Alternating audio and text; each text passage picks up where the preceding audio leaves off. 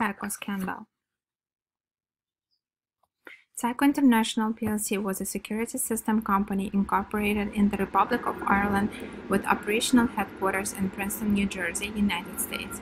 Tyco International was composed of two major business segments, security solutions and fire protection. What happened? In 2002, a multi-billion corporation Tyco suffered a tremendous blow to its public image when its top executives were accused of multiple felonies. Under the charismatic leadership of its chief executive officer, Dennis Kozlowski, the company flourished and became one of the most successful enterprises, with a total revenue of $22 billion in 1999. The situation changed with launching a full-scale investigations of the company's financial statements. It revealed numerous cases of funds misappropriation, stealing, document falsification, and a tax evasion by Kozlowski, who used Tyco money to enjoy his life in luxury. Along with the company's chief financial officer, Mark Swartz, Kozlowski was accused of manipulating uh, with the company's stock prices for the purpose of profit making. Both executors risked their, their reputation and prison sentence by making a fortune. The discovery of these multiple felonies resulted in the eruption of tremendous scandal that damaged the reputation of Tyco and threatened the financial security of its employees, shareholders, and the retirees. Who got hurt? Uh, indeed, the Tyco employees, shareholders, and retirees were the primary victims of the scandal, a series of sensational discoveries about the accounting machinations of Tyco executors led to the fall of the company's stock prices.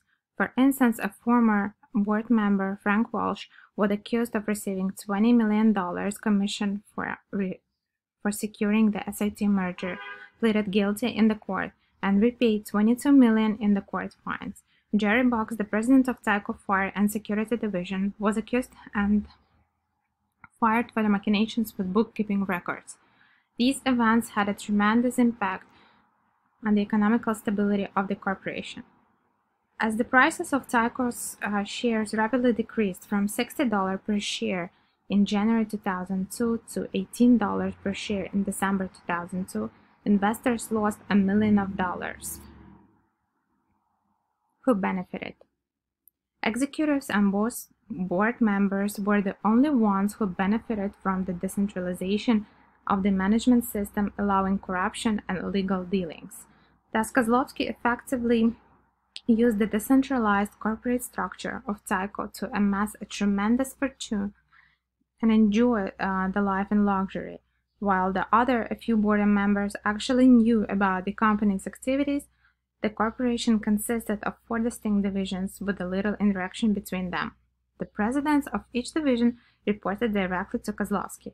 In such work environment, the chief CEO illegally appropriated Tyco's funds to pay the acquisition of real estate, to purchase an art of work, and financing of party for his wife. Kozlowski used the, um, the stolen money to buy a seven, $7 million worth apartment for his former wife, to settle a divorce claim and pay $29 million for a vacation home.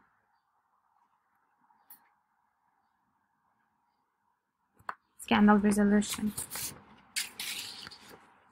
The Tyco scandal led to the imprisonment of guilty company executives and the partial recovery of Tyco's stolen money.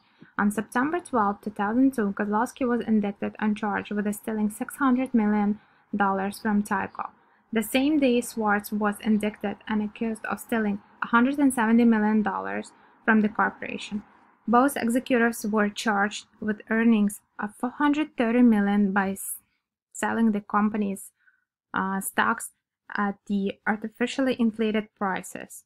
In 2005, both men were found guilty on 22 of 23 counts of larceny, conspiracy, and falsification of business records, the violation of business law, and were ordered to pay 134 million of compensation to Tyco each.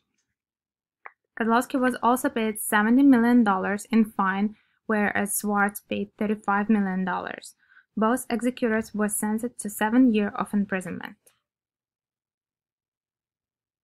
Ethical framework. This case of Tyco scandal may serve as a suitable exemplification of Kantian deontological ethics and concept of categorical imperative in particular. Uh, Kant claims that moral rules are categorical because they should be enforced and followed regardless of human desires and strivings. Categorical imperative refers to the necessity to act only according to the maxim by which you can at the same time uh, will um, that it should become a universal law. Tyco scandal strongly suggests that honesty and hard work are the categorical imperative because they ensure the economic stability and financial security of its employees. Such approach would allow avoiding ethical failures in corporations in the future.